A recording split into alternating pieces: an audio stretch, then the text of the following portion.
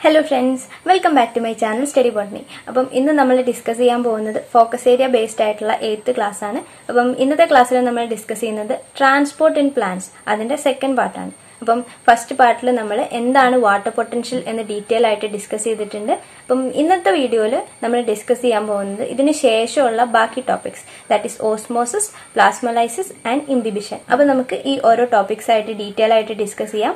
അതിനു മുൻപ് നിങ്ങൾ വാട്ടർ പൊട്ടൻഷ്യൽ എന്ന ടോപ്പിക് ഡിസ്കസ് ചെയ്ത വീഡിയോ കണ്ടിട്ടില്ലെങ്കിൽ അതിന്റെ ലിങ്ക് ഞാൻ ഇതിന്റെ മുകളിൽ കൊടുക്കാം. അതുപോലെ തന്നെ ഡിസ്ക്രിപ്ഷനിലും കൊടുക്കാം. നിങ്ങൾ കണ്ടു നോക്കുക. അതിനുശേഷം ഈ വീഡിയോ കാണുകയാണെങ്കിൽ നിങ്ങൾക്ക് കുറച്ചുകൂടെ നന്നായിട്ട് കാര്യങ്ങൾ മനസ്സിലാവും. സോ നമുക്ക് വീഡിയോ സ്റ്റാർട്ട് ചെയ്യാം. സോ നമുക്ക് ആദ്യം തന്നെ എന്താണ് ഓസ്മോസിസ് എന്ന് ഡിസ്കസ് ചെയ്യാം. Osmosis is the diffusion of water from its region of higher concentration to region lower concentration across a semi permeable membrane until equilibrium is reached usually diffusion എന്ന് പറഞ്ഞിട്ടുണ്ടെങ്കിൽ എന്താ? ഏതെങ്കിലും ഒരു മോളിക്യൂൾ അതിന്റെ കോൺസെൻട്രേഷൻ കൂടിയ ഏരിയയിൽ നിന്ന് കോൺസെൻട്രേഷൻ കുറഞ്ഞ ഏരിയയിലേക്ക് മൂവ് ചെയ്യുന്നതിനാണ് ഡിഫ്യൂഷൻ എന്ന് പറയുന്നത്. ഇവിടെ എനർജിയുടെ ആവശ്യമില്ല. ഇവിടെ കോൺസെൻട്രേഷൻ ഗ്രേഡിയന്റിൽ വരുന്ന ഡിഫറൻസിനനുസരിച്ചാണ് ഈ പാർട്ടിക്കിൾസ് മൂവ് ചെയ്യുന്നത്. ഓസ്മോസിസ് എന്ന ടേം സ്പെഷ്യലി നമ്മൾ പറയുന്നത് വാട്ടറിന്റെ ഡിഫ്യൂഷനാണ് ഇങ്ങനെ വാട്ടർ അതിന്റെ കോൺസെൻട്രേഷൻ കൂടിയ ഏരിയയിൽ നിന്ന് കുറഞ്ഞ ഏരിയയിലേക്ക് മൂവ് ചെയ്യുന്നു. ഇത് കൂടാതെ ഇതിന് മറ്റൊരു കണ്ടീഷൻ കൂടിയുണ്ട്. ഈ വാട്ടർ മൂവ് ചെയ്യുന്നത് എപ്പോഴും ഒരു സെമി പെർമിയബിൾ മെംബ്രെയിനിന്റെ ഉള്ളിലൂടെ ആയിരിക്കും. That is across semi permeable membrane അതായത് ഈ ഇമേജിൽ കൊടുത്തിരിക്കുന്ന പോലെ എ ചേംബറിലാണ് കൂടുതൽ വാട്ടർ മോളിക്യൂൾസ് കാണാൻ പറ്റുന്നത്. ബി ചേംബറിൽ എ കമ്പയർ ചെയ്ത് നോക്കുമ്പോൾ ബിയിൽ വാട്ടർ മോളിക്യൂൾസിന്റെ കോൺസെൻട്രേഷൻ കുറവാണ്. ഇത് കൂടാതെ ഈ എ ആൻഡ് ബി രണ്ട് ചേംബേഴ്സിനെയും സെപ്പറേറ്റ് ചെയ്തുകൊണ്ട് ഒരു സെമി പെർമിയബിൾ മെംബ്രെയിനും കാണാൻ പറ്റും. അപ്പം ഇവിടെ വാട്ടർ മോളിക്യൂൾസ് എ ചേംബറിൽ നിന്ന് ബി ചേംബറിലേക്ക് മൂവ് ചെയ്യുന്നു across a semi permeable membrane ഈ ഒരു പ്രോസസ്സിനെയാണ് ഓസ്മോസിസ് എന്ന് പറയുന്നത്. ഇങ്ങനെ എ ചേംബറിൽ നിന്ന് ബി ചേംബറിലേക്ക് ഈ വാട്ടർ മോളിക്യൂൾസ് എത്ര നേരം മൂവ് ചെയ്തുകൊണ്ടിരിക്കും? അന്റിൽ ഇക്വിലിബ്രിയം ഈസ് റീച്ച്ഡ് രണ്ടിലും ഒരേ കോൺസെൻട്രേഷൻ വാട്ടറിന്റെ കോൺസെൻട്രേഷൻ സെയിം ആവുന്നത് വരെ അതായത് ഇക്വിലിബ്രിയം എത്തുന്നത് വരെ ഈ വാട്ടറിന്റെ മൂവ്മെന്റ് കണ്ടിന്യൂ ചെയ്യും. സോ ഓസ്മോസിസ് എന്ന് പറയുന്നത് ഒരു ടൈപ്പ് ഓഫ് ഡിഫ്യൂഷൻ ആണ്. ഇവിടെ ഡിഫ്യൂസ് ചെയ്യപ്പെടുന്നത് വാട്ടർ ആയിരിക്കും.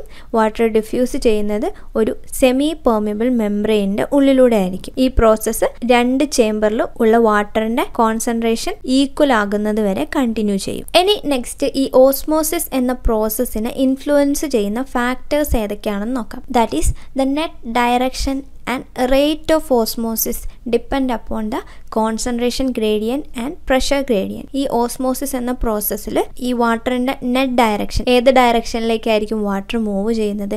ഈ മൂവ്മെന്റ് എത്രത്തോളം സ്പീഡിലായിരിക്കും നടക്കുന്നത്? അതായത് റേറ്റ് ഓഫ് ഓസ്മോസിസ് ഇതൊക്കെ ഡിപ്പെൻഡ് ചെയ്യുന്നത് ആ വാട്ടറിന്റെ കോൺസെൻട്രേഷൻ ഗ്രേഡിയൻ ആൻഡ് പ്രഷർ ഗ്രേഡിയന്റിന്റെ ബേസിലായിരിക്കും അപ്പോൾ നമുക്ക് ഈ ഓരോ ഫാക്ടേഴ്സും എങ്ങനെയാണ് ഈ ഓസ്മോസിസിനെ അഫക്റ്റ് ചെയ്യുന്നതെന്ന് നോക്കാം. ഇതിൽ നമ്മൾ ആദ്യം നോക്കുന്നത് കോൺസെൻട്രേഷൻ ഗ്രേഡിയന്റ് എങ്ങനെയാണ് ഓസ്മോസിസിനെ അഫക്റ്റ് ചെയ്യുന്നതെന്നാണ്. അതിനുവേണ്ടി ടെക്സ്റ്റ് ബുക്കിൽ ഒരു എക്സ്പെരിമെന്റ് കൊടുത്തിട്ടുണ്ട്. That is potato osmometer experiment അപ്പം ഈ എക്സ്പെരിമെന്റിൽ എന്താ ചെയ്യുന്നത് വെച്ചിട്ടുണ്ടെങ്കിൽ ഒരു പൊട്ടറ്റോ എടുത്ത് അതിന്റെ സെന്റർ പോർഷനിൽ ഒരു ഹോൾ ഉണ്ടാക്കുന്നു. ഇതുപോലെ ഒരു ഹോൾ ഉണ്ടാക്കുന്നു. അതായത് ഇതിനെ നടുവിലൂടെ കട്ട് ചെയ്യുകയല്ല ഇതിന്റെ നടുവിൽ ഒരു കുഴി പോലെ ഒരു ഹോൾ ഉണ്ടാക്കുന്നു. എന്നിട്ട് ഈ ഹോളിൽ കോൺസെൻട്രേറ്റഡ് ആയിട്ടുള്ള ഷുഗർ സൊല്യൂഷൻ ഒഴിക്കുന്നു. അതായത് പഞ്ചസാര വെള്ളം ഈ സെന്ററിൽ ഒഴിച്ചതിന് ശേഷം ഒരു ബീക്കറിൽ കുറച്ച് വെള്ളം നിറച്ചിട്ട് അതായത് പ്യുവർ വാട്ടർ നിറച്ചിട്ട് ഈ പൊട്ടറ്റോ അതിൽ ഇറക്കി വെക്കുന്നു. അപ്പം സ്റ്റാർട്ടിങ്ങിൽ ഇങ്ങനെ ആയിരിക്കും ഉണ്ടാവുന്നത്. കുറച്ച് കഴിഞ്ഞ് നമ്മൾ ഇതിനെ ഒബ്സർവ് ചെയ്ത് കഴിഞ്ഞിട്ടുണ്ടെങ്കിൽ ഈ പൊട്ടറ്റോയുടെ ഉള്ളിലുള്ള ഷുഗർ സൊല്യൂഷന്റെ അളവ് കൂടിയിട്ടുള്ളതായിട്ട് കാണാൻ പറ്റും. മാത്രമല്ല ഈ ബീക്കറിലുള്ള വെള്ളത്തിന്റെ അളവ് കുറഞ്ഞിട്ടുള്ളതായിട്ടും കാണാൻ പറ്റും. അപ്പം ഇവിടെ എന്താ സംഭവിക്കുന്നത്? ബീക്കറിലുള്ള വാട്ടർ. അത് പ്യുവർ വാട്ടർ ആണ് അതായത് വാട്ടറിന്റെ കോൺസെൻട്രേഷൻ കൂടിയ ഏരിയയിൽ നിന്ന് ഷുഗർ സൊല്യൂഷനിൽ വാട്ടറിന്റെ കോൺസെൻട്രേഷൻ കുറവായിരിക്കും. അങ്ങനെ കുറവുള്ള ഏരിയയിലേക്ക് വാട്ടർ മൂവ് ചെയ്യുന്നു. അപ്പം ഇവിടെ ഒരു സെമി പെർമിയബിൾ മെംബ്രെയിൻ ആയിട്ട് ആക്ട് ചെയ്യുന്നത് ഈ പൊട്ടറ്റോ ട്യൂബർ ആണ് സോ പൊട്ടറ്റോ ഓസ്മോമീറ്റർ എക്സ്പെരിമെന്റിലൂടെ നമ്മൾ മനസ്സിലാക്കുന്ന കാര്യം എന്താ? Water will move from its region of higher chemical potential or concentration to its region of lower chemical potential or concentration until equilibrium is reached അപ്പം ഓസ്മോസിസും കോൺസെൻട്രേഷൻ ഗ്രേഡിയന്റും അല്ലെങ്കിൽ chemical പൊട്ടൻഷ്യലും തമ്മിലുള്ള റിലേഷൻ എന്താ? ഓസ്മോസിസ് നടക്കുന്നത് എപ്പോഴും വാട്ടറിന്റെ കോൺസെൻട്രേഷൻ എവിടെയാണോ കൂടുതലുള്ളത് അവിടെ നിന്ന് വാട്ടറിന്റെ കോൺസെൻട്രേഷൻ കുറവുള്ള ഏരിയയിലേക്കായിരിക്കും നടക്കുന്നത്. ഈ പ്രോസസ്സ് എത്ര നേരം കണ്ടിന്യൂ ചെയ്യും? രണ്ട് സിസ്റ്റത്തിലുമുള്ള വാട്ടറിന്റെ കോൺസെൻട്രേഷൻ ഈക്വൽ ആകുന്നത് വരെ. അതായത് ഇക്വിലിബ്രിയം എത്തുന്നത് വരെ ഈ ഒരു process that is osmosis continue ചെയ്യും. ഇക്വിലിബ്രിയം എന്ന് പറയുന്നത് എന്താ? Two chambers should have the same water potential ഇക്വിലിബ്രിയത്തിൽ എത്തിക്കഴിഞ്ഞിട്ടുണ്ടെങ്കിൽ ഈ രണ്ട് ചേമ്പറിന്റെയും വാട്ടർ പൊട്ടൻഷ്യൽ സെയിം ആയിരിക്കും. അടുത്ത ഓസ്മോസിസിനെ എഫക്റ്റ് ചെയ്യുന്ന ഫാക്ടറാണ് പ്രഷർ ഗ്രേഡിയന്റ് ഈ പ്രഷർ ഗ്രേഡിയന്റും ഓസ്മോസിസും തമ്മിലുള്ള റിലേഷൻ മനസ്സിലാക്കുന്നതിന് വേണ്ടി മറ്റൊരു എക്സ്പെരിമെന്റ് ആണ് ടെക്സ്റ്റിൽ കൊടുത്തത്. That is thistle funnel experiment ഈ ഇമേജിൽ കാണുന്നത് പോലെ ഒരു സെറ്റപ്പ് ആദ്യം ഉണ്ടാക്കണം. ദാറ്റ് ഈസ് ഒരു തിസിൽ ഫണലിൽ സൂക്രോസ് സൊല്യൂഷൻ എടുക്കുന്നു. ബീക്കറിൽ പ്യുവർ വാട്ടർ എടുക്കുന്നു. ഈ തിസിൽ ഫണലിന്റെ മൗത്ത് പാർട്ട് എഗ് മെംബ്രെയിൻ വെച്ച് കവർ ചെയ്യുന്നു. അതിനുശേഷം ഈ ഈ ഇമേജിൽ കാണുന്നത് പോലെ ഈ ബീക്കറിലെ വാട്ടറിലേക്ക് ഇതിനെ പ്ലേസ് ചെയ്യുന്നു. അപ്പം ഇവിടെ എന്താ സംഭവിക്കുന്നത്? പ്യുവർ വാട്ടർ അതായത് ബീക്കറിലുള്ള വാട്ടർ ഈ സൂക്രോസ് സൊല്യൂഷൻ ഉള്ള തിസിൽ ഫണലിലേക്ക് ഈ സെമി പെർമിയബിൾ മെംബ്രെയിനിലൂടെ എന്റർ ചെയ്യുന്നു. അപ്പം ഇവിടെ ഓസ്മോസിസ് എന്ന പ്രോസസ്സ് സ്റ്റാർട്ട് ചെയ്യുന്നു. സോ ഈ ഓസ്മോസിസ് എന്ന പ്രോസസ്സ് നടക്കാതിരിക്കണമെങ്കിൽ അതായത് ഈ ബീക്കറിലുള്ള വാട്ടർ ഈ തിസിൽ ഫണലിലേക്ക് എന്റർ ചെയ്യാതിരിക്കണമെങ്കിൽ ഈ തിസിൽ ഫണലിലേക്ക് ഒരു പ്രഷർ എക്സേർട്ട് ചെയ്ത് കൊടുക്കുന്നു. അതായത് ഇതുപോലെ ഒരു പിസ്റ്റൺ വെച്ചിട്ട് താഴേക്ക് ഒരു പ്രഷർ അപ്ലൈ ചെയ്യുന്നു. ഈ പ്രഷറിനെയാണ് ഓസ്മോട്ടിക് പ്രഷർ എന്ന് പറയുന്നത്. That is osmotic pressure is the minimum pressure applied to a solution to prevent the inward flow of water across a semi permeable membrane. ഈ സെമി പെർമിയബിൾ മെംബ്രെയിനിലൂടെ water ഈ തിസിൽ ഫണലിന്റെ ഉള്ളിലേക്ക് enter ചെയ്യാതിരിക്കാൻ വേണ്ടിയിട്ട് അപ്ലൈ ചെയ്യുന്ന പ്രഷറിനെയാണ് osmotic pressure എന്ന് പറയുന്നത്. മറ്റൊരു രീതിയിൽ പറയുകയാണെങ്കിൽ ഓസ്മോസിസ് എന്ന പ്രോസസ്സ് നടക്കാതിരിക്കാൻ വേണ്ടിയിട്ട് അപ്ലൈ ചെയ്യുന്ന പ്രഷറിനെയാണ് ഓസ്മോട്ടിക് പ്രഷർ എന്ന് പറയുന്നത്. അപ്പം ഈ അപ്ലൈ ചെയ്യുന്ന പ്രഷർ എന്ന് പറയുന്നത് ഈ തിസിൽ ഫണലിലുള്ള സൂക്രോസ് സൊല്യൂഷന്റെ കോൺസെൻട്രേഷൻ ബേസ് ചെയ്തിരിക്കും. അപ്പം എത്രത്തോളം കോൺസെൻട്രേഷൻ ഇവിടെ കൂടുതലാണോ ഈ ബീക്കറിലുള്ള വാട്ടറിന് അത്രത്തോളം ടെൻഡൻസി ഉണ്ടാവും ഈ തിസിൽ ഫണലിന്റെ ഉള്ളിലേക്ക് എന്റർ ചെയ്യുന്നതിന് വേണ്ടി. അപ്പം അത് പ്രിവെന്റ് ചെയ്യുന്നതിന് വേണ്ടി ഈ സൂക്രോസ് സൊല്യൂഷന്റെ കോൺസെൻട്രേഷൻ എത്രയാണോ അത്ര തന്നെ കൂടുതൽ പ്രഷറും ഈ ഓസ്മോസിസ് എന്ന പ്രോസസ്സ് അല്ലെങ്കിൽ വാട്ടർ തിസിൽ ഫണലിലേക്ക് എന്റർ ചെയ്യുന്ന പ്രോസസ്സ് പ്രിവെന്റ് ചെയ്യുന്നതിന് വേണ്ടി ആവശ്യമാണ്. That is more the solute concentration greater will be the pressure required to prevent water from diffusing in അപ്പം ഈ അപ്ലൈ ചെയ്യുന്ന പ്രഷർ എന്ന് പറയുന്നത് സൊല്യൂട്ടിന്റെ കോൺസെൻട്രേഷൻ അതായത് സൊല്യൂട്ടിന്റെ കോൺസെൻട്രേഷന് ഡയറക്റ്റ്ലി പ്രൊപ്പോർഷണൽ ആയിരിക്കും. ദാറ്റ് ഈസ് കോൺസെൻട്രേഷൻ കൂടുതലാണെങ്കിൽ അപ്ലൈ ചെയ്യേണ്ട പ്രഷറും അത്ര തന്നെ കൂടുതലായിരിക്കും. നമ്മൾ കഴിഞ്ഞ വീഡിയോയിൽ എന്താണ് ഓസ്മോട്ടിക് പൊട്ടൻഷ്യൽ അല്ലെങ്കിൽ സൊല്യൂട്ട് പൊട്ടൻഷ്യൽ എന്ന് ഡിസ്കസ് ചെയ്തിട്ടുണ്ട്. അപ്പം ഈ സൊല്യൂട്ട് പൊട്ടൻഷ്യലിന്റെ വാല്യൂ എപ്പോഴും നെഗറ്റീവ് ആയിരിക്കും. So numerically osmotic pressure is equal to the osmotic potential but the sign is opposite numerically പറയുമ്പം ഓസ്മോട്ടിക് പ്രഷറിന്റെയും ഓസ്മോട്ടിക് പൊട്ടൻഷ്യലിന്റെയും വാല്യൂ ഈക്വൽ ആയിരിക്കും. പക്ഷേ ഇവരുടെ സൈൻ നെഗറ്റീവ് ആയിരിക്കും. ദാറ്റ് ഈസ് ഓസ്മോട്ടിക് പൊട്ടൻഷ്യൽ അല്ലെങ്കിൽ സൊല്യൂട്ട് പൊട്ടൻഷ്യലിന്റെ വാല്യൂ എപ്പോഴും നെഗറ്റീവ് ആയിരിക്കും. എന്നാൽ ഓസ്മോട്ടിക് പ്രഷറിന്റെ വാല്യൂ എപ്പോഴും പോസിറ്റീവ് ആയിരിക്കും. That is osmotic pressure is the positive pressure applied while osmotic potential is negative അപ്പം സൊല്യൂട്ടിന്റെ കോൺസെൻട്രേഷനും വാട്ടറിന്റെ മൂവ്മെന്റും എങ്ങനെയാണ് കണക്ട് ചെയ്തിട്ടുള്ളതെന്ന് നിങ്ങൾക്കിപ്പം മനസ്സിലായിട്ടുണ്ടാവും.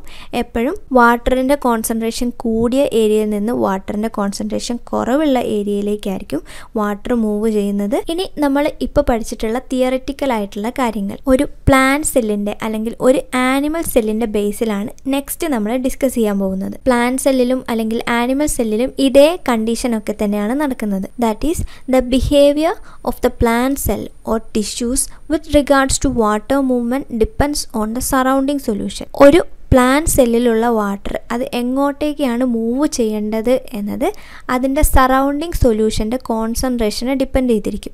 അതായത് സറൗണ്ടിങ് സൊല്യൂഷനിൽ വാട്ടറിന്റെ കോൺസെൻട്രേഷൻ കൂടുതലാണെങ്കിൽ വാട്ടർ മൂവ് ചെയ്യുന്നത് എങ്ങോട്ടായിരിക്കും? കോൺസെൻട്രേഷൻ കൂടിയ ഏരിയയിൽ നിന്ന് കോൺസെൻട്രേഷൻ കുറഞ്ഞ ഏരിയയിലേക്ക് മൂവ് ചെയ്യും. അപ്പം ഈ മൂവ്മെന്റ് എങ്ങനെയൊക്കെയാണെന്ന് മനസ്സിലാക്കുന്നതിന് വേണ്ടി ടെക്സ്റ്റ് ബുക്കിൽ ലിവിങ് സെല്ലിനെ മൂന്ന് ഡിഫറെന്റ് കണ്ടീഷൻസിൽ പ്ലേസ് ചെയ്തിട്ടുണ്ട്. അതാണ് നമുക്ക് നെക്സ്റ്റ് പഠിക്കാനുള്ള focus area topic that is plasmolysis. ഇവിടെ ടെക്സ്റ്റ് ബുക്കിൽ മൂന്ന് ഡയഗ്രാംസ് കൊടുത്തിട്ടുണ്ട്. അതിൽ സ്ക്വയറിൽ കാണിച്ചിരിക്കുന്നതാണ് ഒരു സെൽ. അതിന്റെ ബ്രൗൺ കളറിൽ കാണിച്ചിരിക്കുന്നത് ആ സെല്ലിന്റെ സെൽ വോൾ ആണ്. ഈ ഗ്രീൻ കളറിൽ കാണിച്ചിരിക്കുന്നത് ഈ സെല്ലിന്റെ സൈറ്റോപ്ലാസം ആണ്. അപ്പം ഈ ചുറ്റുമായിട്ട് കാണിച്ചിരിക്കുന്ന ഓറഞ്ച് കളർ എന്ന് പറയുന്നത് ഈ സെല്ല് പ്ലേസ് ചെയ്തിരിക്കുന്ന മീഡിയം ആണ്. അല്ലെങ്കിൽ സെല്ലിന് ചുറ്റുമായിട്ട് കാണുന്ന സറൗണ്ടിങ് സൊല്യൂഷൻ ആണ്. ഇനി നമുക്ക് ഈ സെല്ലിന് ഡിഫറെന്റ് കോൺസെൻട്രേഷൻ ഉള്ള സറൗണ്ടിങ് സൊല്യൂഷനിൽ പ്ലേസ് ചെയ്തിട്ടുണ്ടെങ്കിൽ എങ്ങനെയാണ് അതിന്റെ സൈറ്റോപ്ലാസത്തിലുള്ള വാട്ടർ മൂവ് ചെയ്യുന്നതെന്ന് നോക്കാം. ആദ്യം നമ്മൾ സെല്ലിനെ ഐസോട്ടോണിക് സൊല്യൂഷനിലാണ് പ്ലേസ് ചെയ്യുന്നത്. Isotonic solution meaning if the external solution balances the concentration of the cytoplasm. അതായത് സൈറ്റോപ്ലാസത്തിന്റെയും എക്സ്റ്റേണൽ സൊല്യൂഷന്റെയും കോൺസെൻട്രേഷൻ സെയിം ആണെങ്കിൽ ആ ഒരു കണ്ടീഷനെയാണ് ഐസോട്ടോണിക് എന്ന് പറയുന്നത്. അപ്പോൾ ഇവിടെ സൈറ്റോപ്ലാസത്തിന്റെ കോൺസെൻട്രേഷനും അതേസമയം ഈ സറൗണ്ടിങ് സൊല്യൂഷന്റെ കോൺസെൻട്രേഷനും സെയിം ആണ് അപ്പം എവിടെ നിന്ന് എങ്ങോട്ടേക്കായിരിക്കും വാട്ടർ മൂവ് ചെയ്യുന്നത്? അവിടെ പ്രത്യേകിച്ച് മൂവ്മെന്റ് ഒന്നും തന്നെ നടക്കുന്നില്ല. There is no net flow of water towards the inside or outside പുറത്തേക്കോ അകത്തേക്കോ ഉള്ള നെറ്റ് മൂവ്മെന്റ് എന്ന് പറയുന്നത് സീറോ ആയിരിക്കും. ഇപ്പം രണ്ട് മോളിക്യൂൾ വാട്ടർ പുറത്തേക്ക് പോവുകയാണെങ്കിൽ രണ്ട് മോളിക്യൂൾ വാട്ടർ ഉള്ളിലേക്ക് വരുന്നു. So when water flows in to the cell and out of the cell are in equilibrium അപ്പം ഐസോട്ടോണിക് സൊല്യൂഷനിൽ പ്ലേസ് ചെയ്തിട്ടുള്ള ഒരു സെൽ എന്ന് പറയുന്നത് equilibrium കണ്ടീഷനിലായിരിക്കും the cell are said to be flaccid ഈ കണ്ടീഷനിൽ ഈ സെല്ലിന് ഫ്ലാസിഡ് ആയിരിക്കുക എന്നാണ് പറയുന്നത്. ഇനി അടുത്ത കണ്ടീഷനിൽ നമ്മൾ ഈ സെല്ലിനെ ഹൈപ്പോട്ടോണിക് സൊല്യൂഷനിലാണ് പ്ലേസ് ചെയ്യുന്നത്. Hypotonic solution meaning the external solution is more diluted than the cytoplasm സൈറ്റോപ്ലാസത്തിനേക്കാളും diluted ആയിട്ടുള്ള സൊല്യൂഷനിലാണ് നമ്മൾ സെല്ലിനെ പ്ലേസ് ചെയ്തതെങ്കിൽ ആ കണ്ടീഷനെയാണ് ഹൈപ്പോട്ടോണിക് എന്ന് പറയുന്നത്. അപ്പം വാട്ടറിന്റെ കോൺസെൻട്രേഷൻ കൂടുതലുള്ളത് സറൗണ്ടിങ് മീഡിയത്തിലായിരിക്കും കമ്പയർ ടു സൈറ്റോപ്ലാസം അപ്പം ഇവിടെ എങ്ങനെയായിരിക്കും വാട്ടർ മൂവ്മെന്റ് നടക്കുന്നത്? വാട്ടറിന്റെ കോൺസെൻട്രേഷൻ കൂടിയ ഏരിയയിൽ നിന്ന് വാട്ടറിന്റെ കോൺസെൻട്രേഷൻ കുറഞ്ഞ ഏരിയയിലേക്കായിരിക്കും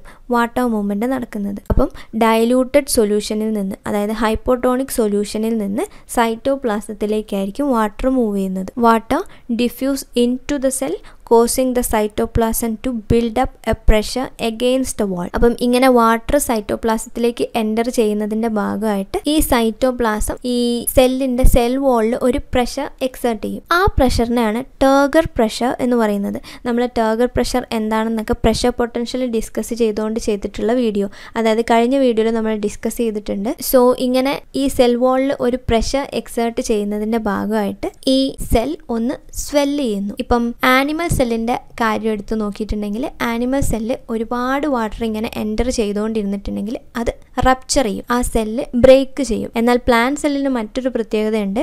ദാറ്റ് ഈസ് പ്ലാൻ സെല്ലിന് ചുറ്റുമായിട്ട് സെൽ വോൾ കാണാൻ പറ്റും. ഈ സെൽ വോൾ എന്ന് പറയുന്നത് റിജിഡ് ആയിട്ടുള്ള സെൽ വോൾ ആയിരിക്കും. അതുകൊണ്ട് തന്നെ ഈ സെല്ല് റപ്ചർ ചെയ്യുന്നില്ല. So because of the rigidity of the cell wall the cell does not rupture പകരം സെല്ലിന് എന്താ സംഭവിക്കുന്നത്? ഈ ഒരു കണ്ടീഷനിൽ ഉണ്ടായിരുന്ന സെല്ല് വാട്ടർ എന്റർ ചെയ്യുമ്പോൾ ഈ ഒരു കണ്ടീഷനിലേക്ക് മാറുന്നു. ഈ ഒരു കണ്ടീഷനിലുള്ള സെല്ലിനെയാണ് ടേർജിഡ് എന്ന് പറയുന്നത്. ടേർജിഡിന്റെ മലയാളം മീനിങ് വീർത്തിരിക്കുക എന്നൊക്കെയാണ്. So the cell are said to be turgid hypotonic സൊല്യൂഷനിൽ ഒരു പ്ലാൻ സെല്ലിന് പ്ലേസ് ചെയ്തിട്ടുണ്ടെങ്കിൽ അത് ടേർജിഡ് ആയിട്ട് മാറും. ആനിമൽ സെല്ലാണെങ്കിൽ അത് റപ്ചർ ചെയ്യും. ഇനി മൂന്നാമത്തെ കണ്ടീഷനാണ് നമ്മൾ നേരത്തെ ഡൈലൂട്ടഡ് ആയിട്ടുള്ള സൊല്യൂഷനിലാണ് ഈ സെല്ലിനെ പ്ലേസ് ചെയ്തതെങ്കിൽ അടുത്ത കണ്ടീഷനിൽ നമ്മൾ കോൺസെൻട്രേറ്റഡ് സൊല്യൂഷനിലാണ് ഈ സെല്ലിനെ പ്ലേസ് ചെയ്യുന്നത്.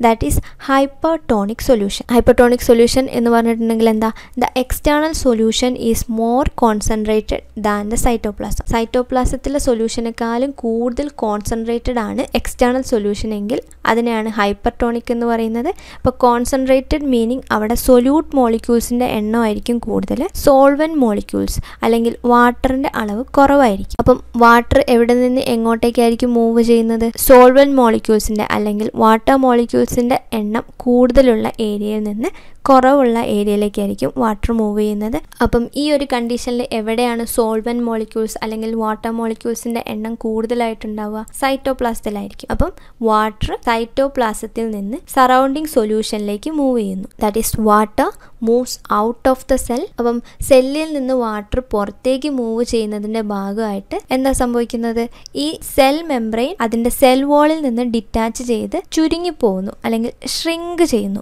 Cell membrane of a plant cell shrinks away from it cell wall അപ്പം ഈ ഒരു കണ്ടീഷനിലുള്ള സെല്ലിനെ ഒരു പേര് പറയായിരുന്നു. നമ്മൾ കഴിഞ്ഞ വീഡിയോയിൽ ഡിസ്കസ് ചെയ്തിട്ടുണ്ട്.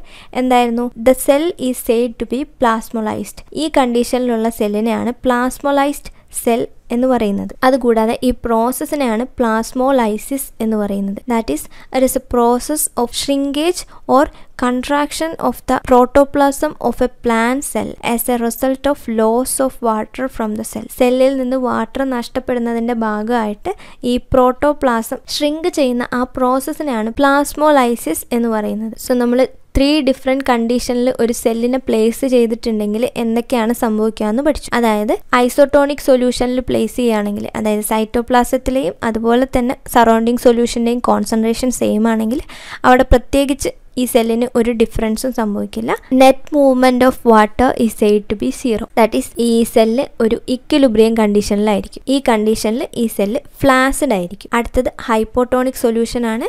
ദാറ്റ് ഈസ് സറൗണ്ടിങ് സൊല്യൂഷൻ എന്ന് പറയുന്നത് ഡയലൂട്ടഡ് ആയിരിക്കും. That is more number of solvent molecules കാണാൻ പറ്റുന്നത് സറൗണ്ടിങ് സൊല്യൂഷനിലായിരിക്കും അപ്പോൾ അവിടെ എന്താ സംഭവിക്കുന്നത്? സറൗണ്ടിങ് സൊല്യൂഷനിൽ നിന്നുള്ള വാട്ടർ ഈ സെല്ലിനുള്ളിലേക്ക് മൂവ് ചെയ്യുന്നു. അതിന്റെ ഭാഗമായിട്ട് ഈ സെല്ല് ടേർജ്ഡ് ആയിട്ട് മാറുന്നു. നെക്സ്റ്റ് ഹൈപ്പർ ഹൈപ്പർടോണിക് കണ്ടീഷനാണ് ഹൈപ്പർടോണിക് കണ്ടീഷൻ എന്ന് പറയുന്നത് സറൗണ്ടിങ് സൊല്യൂഷൻ എന്ന് പറയുന്നത് കോൺസെൻട്രേറ്റഡ് ആയിരിക്കും. ദാറ്റ് മീൻസ് അവിടെ സൊല്യൂട്ട് മോളിക്യൂൾസിന്റെ എണ്ണം ആയിരിക്കും കൂടുതൽ. സോൾവൻ മോളിക്യൂൾസിന്റെ എണ്ണം കുറവായിരിക്കും. സോ ഇവിടെ സെല്ലിന് ഉള്ളിലുള്ള വാട്ടർ ദാറ്റ് ഈസ് സൈറ്റോപ്ലാസത്തിലുള്ള വാട്ടർ സറൗണ്ടിങ് സൊല്യൂഷനിലേക്ക് എന്റർ ചെയ്യുന്നു. ഇതിന്റെ ഭാഗമായിട്ട് ഈ സെല്ല് ഷ്രിങ്ക് ചെയ്യുന്നു. ഈ കണ്ടീഷനിൽ ഈ സെല്ലിനെ പ്ലാസ്മോലൈസ്ഡ് സെൽ എന്നാണ് പറയുന്നത്. ഈ പ്രോസസ്സിനെയാണ് പ്ലാസ്മോലൈസിസ് എന്ന് പറയുന്നത്. അപ്പം ഇത്രയും കാര്യങ്ങളാണ് ഈ പ്ലാസ്മോലൈസിസ് എന്ന ഫോക്കസ് ഏരിയ ടോപ്പിക്കിന്റെ അണ്ടറിൽ ഡിസ്കസ് ചെയ്തിട്ടുള്ളത്. നെക്സ്റ്റ് ടോപ്പിക്കാണ് ഇംബിബിഷൻ. ഇംബിബിഷൻ എന്ന് പറയുന്നത് വളരെ സിമ്പിളായിട്ടുള്ള ടോപ്പിക്കാണ് അതുകൂടാതെ തന്നെ നമ്മുടെ ഡെയിലി ലൈഫിലുള്ള ഒരുപാട് എക്സാമ്പിൾസ് ഈ ഇംബിബിഷനുമായിട്ട് റിലേറ്റഡ് ആണ്. അപ്പോൾ നമുക്ക് ആദ്യം തന്നെ എന്താണ് ഇംബിബിഷൻ എന്ന് നോക്കാം. Imbibition is a special type of diffusion when water is absorbed by solid colloids causing them to increase in volume different solid colloids വാട്ടറിനെ absorb ചെയ്തിട്ട് അതിന്റെ വോളിയം ഇൻക്രീസ് ചെയ്യുന്ന ഈ പ്രോസസ്സിനെയാണ് ഇംബിബിഷൻ എന്ന് പറയുന്നത്. ഇത് ഒരു സ്പെഷ്യൽ ടൈപ്പ് ഓഫ് ഡിഫ്യൂഷൻ ആണ്. അപ്പം ഡിഫ്യൂഷൻ എന്ന് പറയുമ്പോൾ എന്താ? ഏതെങ്കിലും ഒരു മോളിക്യൂൾ അതിന്റെ കോൺസെൻട്രേഷൻ കൂടിയ ഏരിയയിൽ നിന്ന് കോൺസെൻട്രേഷൻ കുറഞ്ഞ ഏരിയയിലേക്ക് മൂവ് ചെയ്യുന്നതാണ് ഡിഫ്യൂഷൻ. ഇവിടെ മൂവ് ചെയ്യുന്നത് വാട്ടറാണ്. ഈ വാട്ടർ എങ്ങോട്ടാണ് മൂവ് ചെയ്യുന്നത്? സോളിഡ് കൊളൈഡ്സിലേക്കാണ് മൂവ് ചെയ്യുന്നത്. ഇങ്ങനെ വാട്ടറിനെ അബ്സോർബ് ചെയ്യുന്നതിന്റെ ഭാഗമായിട്ട് സോളിഡ് കൊളൈഡിന്റെ വോളിയം ഇൻക്രീസ് ചെയ്യുന്നു. അതിന് ഏറ്റവും നല്ല എക്സാമ്പിൾ ആണ്. നമുക്ക് മഴക്കാലമൊക്കെ ആയി കഴിഞ്ഞിട്ടുണ്ടെങ്കിൽ മരത്തിന്റെ ജനലും വാതിലും ഒന്നും അടയ്ക്കുന്നതും തുറക്കുന്നതൊക്കെ കുറച്ച് ബുദ്ധിമുട്ടുള്ള കാര്യമായിരിക്കും. അത് ഈ ഇംബിബിഷൻ എന്ന പ്രോസസ്സ് അവിടെ നടക്കുന്നത് കൊണ്ടാണ് അതായത് മഴക്കാലമൊക്കെ ആകുമ്പം അറ്റ്മോസ്ഫിയറിൽ ഒരുപാട് വാട്ടർ മോളിക്യൂൾസ് ഉണ്ടാവും. അപ്പം ഈ വാട്ടർ മോളിക്യൂൾസിനെയൊക്കെ ഈ മരത്തിന്റെ വാതിലും ജനലും ഒക്കെ അബ്സോർബ് ചെയ്യുന്നു. അതിന്റെ ഭാഗമായിട്ട് ഈ വാതിലും ജനലും ഒക്കെ അതിന്റെ വോളിയം ഇൻക്രീസ് ചെയ്യുന്നു. ഇങ്ങനെ വോളിയം ഇൻക്രീസ് ചെയ്യുന്നതിന്റെ ഭാഗമായിട്ട് അതൊന്ന് വികസിക്കുന്നു. ഇങ്ങനെ വികസിക്കുന്നതുകൊണ്ടാണ് മഴക്കാലത്ത് ഈ മരത്തിന്റെ ജനലും വാതിലൊക്കെ അടയ്ക്കുന്നതും തുറക്കുന്നതും ഒക്കെ കുറച്ച് ബുദ്ധിമുട്ടാവുന്നത്. ഇതിന്റെ മറ്റൊരു എക്സാമ്പിളാണ് വാട്ടറിനെ സീഡ് അബ്സോർബ് ചെയ്യുന്നത്. ഇപ്പം നിങ്ങൾ വീട്ടിൽ കറി വെക്കുന്നതിന് മുൻപ് കടല അല്ലെങ്കിൽ ചെറുപയറൊക്കെ വെള്ളത്തിലിടുന്നത് കണ്ടിട്ടുണ്ടാവും. അതെന്തിനു വേണ്ടിയിട്ടാ? ഇതുപോലെ വാട്ടറിനെ അബ്സോർബ് ചെയ്തിട്ട് സീഡ്സ് കുറച്ചുകൂടെ സോഫ്റ്റ് ആവുന്നതിന് വേണ്ടിയാണ് ഇങ്ങനെ ചെയ്യുന്നത്. അപ്പം ഇവിടെ സോളിഡ് കൊളൈഡായിട്ട് ആക്ട് ചെയ്യുന്നത് സീഡാണ് അപ്പം ഈ സീഡ് വാട്ടറിനെ ഇംബിബിഷൻ എന്ന പ്രോസസ്സിലൂടെയാണ് അബ്സോർബ് ചെയ്യുന്നത്. ഇങ്ങനെ ഒരുപാട് എക്സാമ്പിൾസ് നമ്മൾ നമ്മുടെ ഡെയിലി ലൈഫിൽ ഇംബിബിഷനുമായിട്ട് റിലേറ്റഡ് ആയിട്ട് കണ്ടിട്ടുണ്ടാവും. ഇവിടെയൊക്കെ എന്താ? സോളിഡ് കൊളൈഡ്സ് വാട്ടറിനെ അബ്സോർബ് ചെയ്ത് അതിന്റെ വോളിയം ഇൻക്രീസ് ചെയ്യുന്നു. അപ്പം ഈ ഇംബിബിഷൻ എന്ന പ്രോസസ്സ് നടക്കുന്നതിന് വേണ്ടി കുറച്ച് കണ്ടീഷൻസ് ഉണ്ട്. അതിലൊന്നാണ് water potential gradient between the absorbent and the liquid imbibed is essential for imbibition ഏത് ലിക്വിഡാണോ ഇംബൈബ് ചെയ്യപ്പെടുന്നത്? അല്ലെങ്കിൽ ഈ സോളിഡ് കൊളൈഡ്സിലേക്ക് എന്റർ ചെയ്യുന്നത് ഇവരുടെ വാട്ടർ പൊട്ടൻഷ്യൽ ഗ്രേഡിയന്റ് തമ്മിലുള്ള ഡിഫറൻസ് ഇംബിബിഷൻ എന്ന പ്രോസസ്സിനെ ഇൻഫ്ലുവൻസ് ചെയ്യുന്നുണ്ട്. അതായത് എപ്പോഴും വാട്ടർ പൊട്ടൻഷ്യൽ കൂടിയ ഏരിയയിൽ നിന്ന് വാട്ടർ പൊട്ടൻഷ്യൽ കുറഞ്ഞ ഏരിയയിലേക്കായിരിക്കും ലിക്വിഡ് ഇംബൈബ് ചെയ്യുന്നത്. സോ ആ ഒരു കണ്ടീഷൻ ഫുൾഫിൽ ചെയ്യണം. അതുകൂടാതെ തന്നെ affinity between the absorbent and the liquid is also prerequisite അബ്സോർബന്റും അതുപോലെ ഇംബൈബ് ചെയ്യപ്പെടുന്ന ലിക്വിഡും തമ്മിൽ ഒരു അഫിനിറ്റി ഉണ്ടായിരിക്കണം. സോ ഇത്രയും കാര്യങ്ങളാണ് നമ്മൾ ഇന്നത്തെ വീഡിയോയിൽ ഡിസ്കസ് ചെയ്യുന്നത്. അപ്പം നമുക്ക് നെക്സ്റ്റ് വീഡിയോയിൽ how do plants absorb water transpiration pull and transpiration ഈ മൂന്ന് ടോപ്പിക്കും ഡിസ്കസ് ചെയ്യാം. ഇതിന്റെ കൂടെ തന്നെ പ്രീവിയസ് ഇയർ ക്വസ്റ്റ്യൻസ് കൂടെ നമുക്ക് നെക്സ്റ്റ് വീഡിയോയിൽ ഡിസ്കസ് ചെയ്യാം. ദാറ്റ്സ് ഇറ്റ് ഫോർ ടുഡേ നിങ്ങൾക്ക് വീഡിയോ ഇഷ്ടപ്പെട്ടിട്ടുണ്ടെങ്കിൽ please like share and subscribe to my channel study botany അതിന്റെ തൊട്ടടുത്തൊരു ബെല്ലൈക്കൺ കാണും. അതിൽ ക്ലിക്ക് ചെയ്തിട്ടുണ്ടെങ്കിൽ ഇതൊരു സീരീസ് ഓഫ് വീഡിയോ ആണല്ലോ. അപ്പോൾ ഞാൻ നെക്സ്റ്റ് വീഡിയോ എപ്പോൾ അപ്ലോഡ് ചെയ്യുമ്പോഴും നിങ്ങൾക്ക് നോട്ടിഫിക്കേഷൻ വരും. നിങ്ങൾക്ക് എന്തെങ്കിലും അഭിപ്രായങ്ങളുണ്ടെങ്കിൽ please let me know on the comment session or study ബോട്ടിനെ നിങ്ങൾക്ക് ഇൻസ്റ്റഗ്രാമിലും ഫോളോ ചെയ്യാം. അതിന്റെ ലിങ്ക് ഇതേ ഡിസ്ക്രിപ്ഷനിൽ കൊടുക്കാം. And thank you God bless you all